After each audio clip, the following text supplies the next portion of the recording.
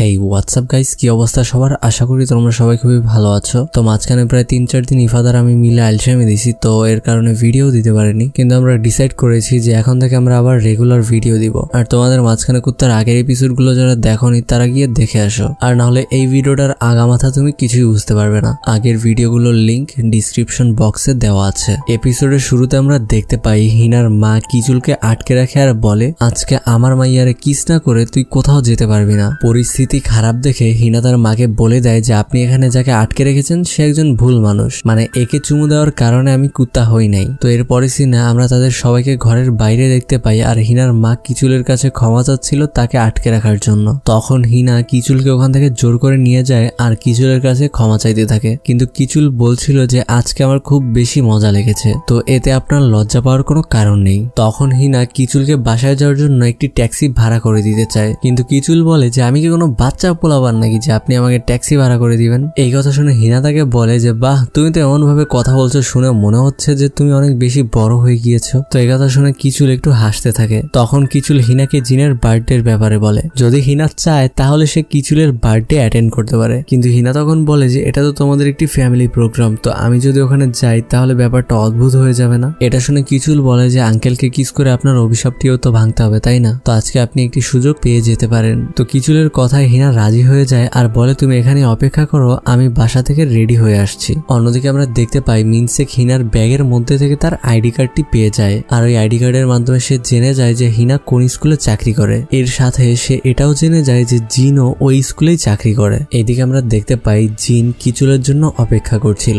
তখনই ওখানে কিচুল হিনার সাথে চলে আসে। আর হিনা সেখানে নায়িকাদের মধ্যে একটা এন্ট্রি নেয় আর তার দিকে জিন এক নজরে তাকিয়েছিল। তখন জিন হিনাকে দেখে জিজ্ঞাসা করে যে সে এখানে কি করছে? তখন হিনা তাকে বলে যে, আমি এখান দিয়েই যাচ্ছিলাম, তো কিচুলের সাথে দেখা হয়ে গেল আর আমি ওর সাথে চলে এসেছি। তখন জিন কিচুলের জামা কাপড়গুলো দেখে আর তাকে জিজ্ঞাসা করে, সেরকম জামাই সেজে কেন বসে আছে? তাকে দেখে তো মনে হচ্ছে সে কোনো ডেটে যাচ্ছে, কিন্তু কিচুল এটা বলে কথাটি ঘুরিয়ে ফেলে যে, বর্তমানে এটাই ট্রেন্ডে রয়েছে। তো যাই হোক এর পরের সিনে আমরা দেখতে পাই, তারা একটি রেস্টুরেন্টে যায় আর ওখানে গিয়ে তারা খুব মজা করতে থাকে। তখন কিচুল বলতে থাকে যে, এটাই হয়তো বা প্রথমে এমন একটি বার্থডে হবে যেদিন আঙ্কেল একটু মজা করেছে। আর না হলে তো প্রতিবার সে এখানে এসে চুপচাপ খেয়ে চলে যায়। এই কথা শুনে জিন কিচুলের পায়ে একটু খোঁচা মেরে বোঝায় যে, ভাই অ্যাটলিস্ট হিনার সামনে তো আমার অপমান করিস না। তো যাই হোক, এরপরে আমরা দেখতে পাই তারা খুব এনজয় করতে থাকে, কিন্তু কিচুল নোটিস করে যে, হিনা এবং জিন একসাথে খুব বেশি এনজয় করছে আর তাকে তারা তেমন একটা পাত্তা দিচ্ছে না। মানে তাদের দুজনের সাথে যে কিচুল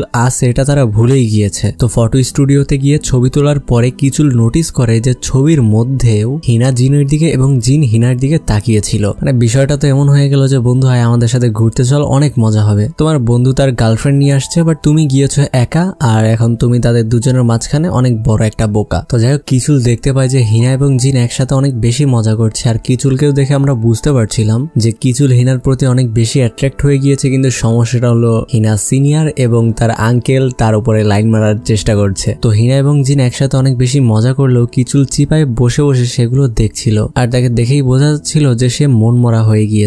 তারা যখন ওখান থেকে বাইরে আসে, তখন কিচুল তাদেরকে বলে যে তার ক্ষুধা লেগেছে। তখন তারা একটি ক্যাফেটেরিয়ায় যাওয়ার কথা ভাবে, কিন্তু ওখানে যেহেতু মদ পাওয়া যেত, তাই তারা কিচুলকে ওখানে নিয়ে যেতে পারবে না। এজন্য হিনা বলে যে, কোনো ব্যাপার না, আমরা অন্য কোথাও চলে যাব। কিন্তু কিচুল তাদের দুজনের মাঝখানে কাবাবের হাড্ডি হতে চাচ্ছিল না। এ কারণে কিচুল তাদেরকে বলে, ঠিক আছে, কোনো ব্যাপার না, আপনারাই চলে যান, আমি বাসায় গিয়ে খেয়ে নিব। তো ওখান থেকে চলে যাওয়ার সময় আমরা দেখতে পাই যে, কিচুল কান্না করছিল, কারণ সে অলরেডি হিনার উপরে গিভ আপ করে দিয়েছিল। কারণ সে বুঝতে পেরেছিল যে, তারা দুজনই একে অপরকে পছন্দ করে। মানে পোলারটার জন্য আসলে আমারই খারাপ লাগছে কারণ ছেলেটা হিনাকে অনেক হেল্প করেছে কিন্তু তার কোনো লাভ হইল না। এদিকে মিনসেক হিনার সম্পর্কে অনেক কিছু জেনে যায় যে তার বাবা মা কোথায় থাকে এবং কি করে। তো যাই হোক, এদিকে আমরা দেখতে পাই হিনা এবং জিন একসাথে বসে কথা বলছিল। তো হিনা তখন বলে যে হয়তো আমরা দুজন একসাথে রয়েছি, তাই কিচুলের একটু খারাপ লেগেছে। এটা শুনে জিন বলে যে, এমনি তো আমি কারোর সাথে ঘুরলে ওর ভালো লাগে না। তবে এটা নিয়ে চিন্তা করার কিছুই নেই। কিচুল অনেক ম্যাচিওর ওকে বুঝালেও বুঝে যাবে। এরপরে জিন হিনাকে থ্যাংক ইউ বলে। কারণ এটাই তার লাইফের বেস্ট বার্থডে ছিল। এর আগে সে তার বার্থডেতে কখনোই এত মজা করতে পারেনি। কারণ ছোটবেলা থেকেই তার তেমন কোনো বন্ধু ছিল না। তখন জিন অনেক সাহস করে হিনাকে এটা বলতেই যায় যে সে কেমন ফিল করে। কিন্তু তবুও সে সাহস করে বলতে পারছিল না। কিন্তু হিনা যেহেতু একটা মেয়ে মানুষ আর মেয়ে মানুষের মধ্যে একটা ক্ষমতা থাকে যে ছেলেরা কি বলতে চায় সেটা আগে থেকেই বুঝে যায়। তো হিনাও এটা বুঝতে পারে যে জিন তাকে প্রপোজ করতে যাচ্ছে আর এই জন্য সে জিনকে থামিয়ে দেয় এবং ওয়াশরুমের বাহানা দিয়ে ওখান থেকে চলে যায়। তো ওয়াশরুমে গিয়ে হিনা ভাবতে থাকে যে জিন আমাকে প্রপোজ করার আগে ওকে আমার বলা উচিত যে আমি রাত বারোটা বাজলেই কুত্তা হয়ে যাই। তো হিনা ওখানে বসে এটা ভাবছিল যে জিনকে কি এটা বলা ঠিক হবে যে সে কুত্তা হয়ে যায়? আর সে যদি জিনকে বলেও তাহলে কি করে বলবে? আর এটাই সে আয়নার সামনে দাঁড়িয়ে অভিনয় করে দেখছিল। তো যাই হোক, এরপরে আমরা দেখতে পাই হিনা জিনকে বলে যে সেও জিনকে কিছু একটা বলতে চায়। কিন্তু অনেক চেষ্টা করার পরেও সে জিনকে বলতে পারছিল না। এজন্য হিনা অনেক বেশি পরিমাণে মদ পান করে ফেলে। কিন্তু এতগুলো মদ খাওয়ার পরেও হিনা জিনকে এটা সাহস করে বলতে পারছিল না যে রাত বারোটা বাজলেই সে কুত্তা হয়ে যায়। তখন জিন বলে যে, ঠিক আছে, কোনো ব্যাপার না, যখন তুমি এটা আমার সাথে ফ্রিলি বলতে পারবে, তখনই আমি শুনব। তো যাই হোক, অনেক বেশি মাল খাওয়ার কারণে হিনা টাল হয়ে যায়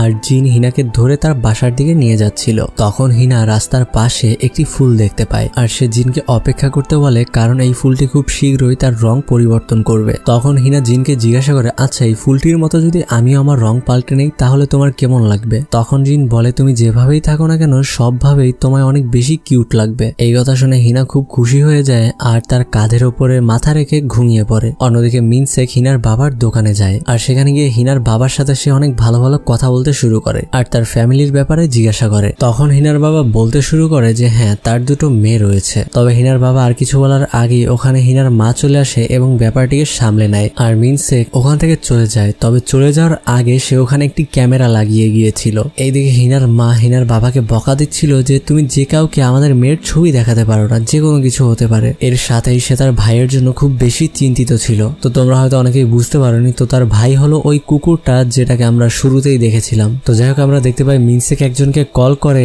আর একটি ছেলে তায়ের কুত্তার ক্লিনিকে একটি কুকুর নিয়ে যায় আর ওখানেও সে একটি ক্যামেরা লাগিয়ে দেয়। এদিকে আমরা দেখতে পাই জিয়া ম্যাজিক পারফর্ম করছিল মানে জাদুর মাধ্যমে সে অতীতের কথা জানার চেষ্টা করছিল। তো সেখান থেকে সে জানতে পারে যে বগিয়মের সাথে পাস্ট লাইফে তার একটি কানেকশন ছিল। এর সাথে সে বগিয়মের ওই গোপন রুমটির সম্পর্কেও জানতে পারে যেখানে একটি বক্স রাখা ছিল। এর পরের দিন জিয়া চলে যায় ওই বেসমেন্টের দরজার সামনে যেখানে একটি তালা লাগানো ছিল। তখনই ওখানে কিচুল চলে আসে আর জিয়াকে জিজ্ঞাসা করে যে সে এখানে কি করছে। তো জিয়া বলে যে এটার ভিতর এমন কিছু রয়েছে যেটাকে আমি দেখতে চাই। তখন কিচুল তাকে বলে, আমি শুনেছি তোমার কাছে নাকি পাস্ট এবং ফিউচার দেখার ক্ষমতা রয়েছে। আর কিছুদিন আগেও তুমি আমায় বলেছিলে যে খুব তাড়াতাড়ি আমি একটি ঝামেলায় ফেসে যাব। আর সত্যি, এখন আমি একটি ঝামেলার মধ্যে রয়েছি। তখন জিয়া তাকে বলে, এই দরজাটি খুলতে তুমি যদি আমায় হেল্প করো, তাহলে আমিও তোমার সাহায্য করব। তখন কিচুল ওই তালাটি খোলার চেষ্টা করতে থাকে আর তখনই ওখানে বগিয়ম চলে আসে। তো বগিয়ম এসে তাদেরকে জিজ্ঞাসা করে যে তারা এখানে কি করছে? তখন জিয়া বাহানা দিয়ে বলে যে তারা এখানে এমনি মজা করছিল। ওদের ভাগ্য ভালো যে ওরা কোরিয়াতে আছে। ওরা যদি এই মুহূর্তে বাংলাদেশে থাকতো আর চিপায় বসে স্যারে যদি ওদেরকে এইভাবে ধরতো, তাহলে ওদের মজা বের করে দিত। তো যাই হোক এইদিকে আমরা দেখতে পাই মিনসেক তার একটি বন্ধুকে নিয়ে হিনার স্কুলে চলে আসে হিনার ব্যাপারে জিজ্ঞাসাবাদ করার জন্য। কিন্তু তখনই ওখানে স্কুলের সিনিয়র টিচার চলে আসে মানে হেডমাস্টার চলে আসে, আর তাকে দেখে তারা ভয়ে ওখান থেকে চলে যায়। তখন জিন ওই স্টুডেন্টদেরকে জিজ্ঞাসা করে যে, ওই ছেলেটি তোমাদের কাছ থেকে কি জিজ্ঞাসা করছিল? তো তারা জিনকে বলে দেয় যে, ওই ছেলেটি মিস হিনার ব্যাপারে জিজ্ঞাসা করতে এসেছিল। এটা শুনে জিন প্রচণ্ড রেগে যায় এবং মিনসেকের ভিডিও থেকে তার লোকেশন বের করে তার বাসায় চলে যায় এবং তাকে ওয়ার্নিং দেয় যে, আমার গার্লফ্রেন্ডের আশেপাশে তোকে যাতে আমি আর না দেখি। তো জিনের এই কথাগুলো শুনে মিনসেক অনেক বেশি জেলাস ফিল করছিল। কারণ যাকে সে ছোটবেলায় বুলি করতো, সে এখন এত সাকসেসফুল হয়ে গিয়েছে আর এখনও সে তেমনই রয়ে গিয়েছে। তো যাই হোক, এইদিকে আমরা দেখতে পাই হিনা তাইর ক্লিনিকে আসে। হিনা অনেক বেশি আপসেট ছিল কারণ তার হাতে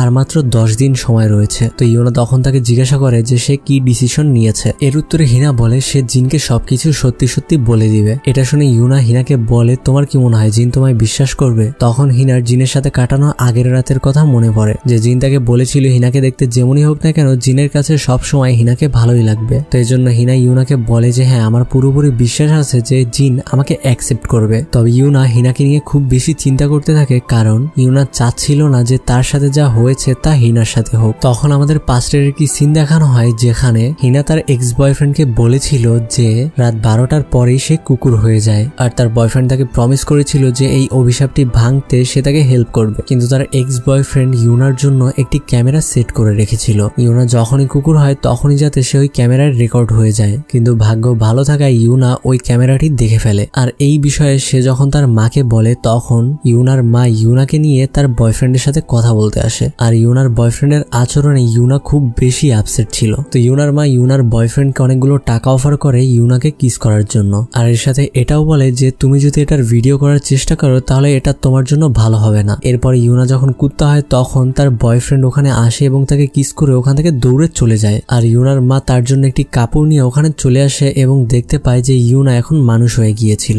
কিন্তু ইউনার বয়ফ্রেন্ডের এমন আচরণের জন্য ইউনা প্রচণ্ড ভেঙে পড়ে। আর সারপ্রাইজিংলি আমরা এটা দেখতে পাই যে এসব কথা মিনসেক তার লাগানো ওই ক্যামেরার মাধ্যমে শুনছিল এবং ওগুলো শুনে হাসাহাসি করছিল। তখন সে ইউনার এক্স বয়ফ্রেন্ডকে কল করে। এর পরের সিনে আমরা দেখতে পাই মিনসেক তার বন্ধুকে নিয়ে ইউনার এক্স বয়ফ্রেন্ডের সাথে দেখা করতে যায়। কারণ ইউনার এক্স বয়ফ্রেন্ড তাকে বলেছিল যে তার কাছে আরও অনেকগুলো প্রমাণ রয়েছে। তো ওখানে যাওয়ার পর ইউনার এক্স বয়ফ্রেন্ড তাকে জিজ্ঞাসা করে যে সে এগুলো কি টাকার জন্য করছে? আর সে যদি মিনসেককে এই প্রমাণগুলো দেয়, তাহলে সে কি পাবে? তো তখন মিনসেক বলে, এগুলো করে আমি টাকা না পেলেও অনেক মজা পাই। এনিওয়ে এইদিকে আমরা দেখতে পাই যে জিন হিনার সাথে দেখা করার জন্য যাচ্ছিল। কিন্তু হিনা রাস্তার এক সাইডে আর জিন আরেক সাইডে ছিল। তখনই জিন হিনার সাইডে এক অপরিচিত মানুষকে দেখতে পায়, যাকে দেখে একটু সন্দেহজনক লাগছিল। আর এজন্য জিন রাস্তার মাঝখান দিয়ে দৌড় দেয় হিনার কাছে আসার জন্য। আর সে রোড পার করে হিনাকে জড়িয়ে ধরে। কারণে তারা খুব বেশি কাছাকাছি চলে আসে। আর এমন একটি রোমান্টিক সিনের সাথে এই এপিসোডটি এখানেই শেষ হয়। তো গাইস এই ছিল আজকের ভিডিও আই হোপ ভিডিওটি তো গাইস এই ছিল আজকের ভিডিও আই হোপ ভিডিওটি তোমাদের ভালো লেগেছে। যদি ভালো লাগে, তবে অবশ্যই লাইক করে দিবে। আর চ্যানেলে নতুন হলে অবশ্যই চ্যানেলটিকে সাবস্ক্রাইব করে পাশে থাকা বেলাইকনটিকে প্রেস করে দিবে। তো আমি ফাইম তোমাদের মাঝ থেকে বিদায় নিচ্ছি। দেখা হবে তোমাদের সাথে নতুন কোনো ভিডিওতে ততক্ষণ পর্যন্ত তোমরা ঘরে থাকো, সুস্থ থাকো স্টে সেফ গুড